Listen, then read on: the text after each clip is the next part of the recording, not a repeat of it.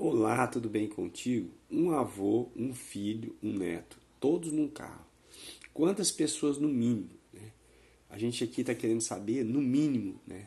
a menor quantidade de pessoas possíveis, segundo essas informações aqui, beleza?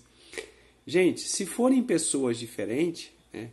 se o avô, se o filho e o neto forem todas pessoas diferentes, então nós podemos dizer que tem três pessoas, né?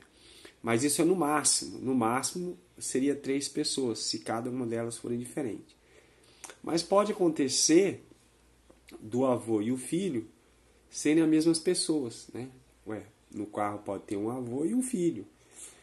E pode acontecer das três pessoas ser a mesma, né? O avô, o filho e o neto ser a mesma pessoa, não é? Porque é tanto avô quanto filho, quanto neto de alguém. Né? Então, nessas condições, né, nós podemos dizer aí é, quantas pessoas no mínimo? No mínimo, né, uma pessoa. Então, letra B, uma pessoa, né?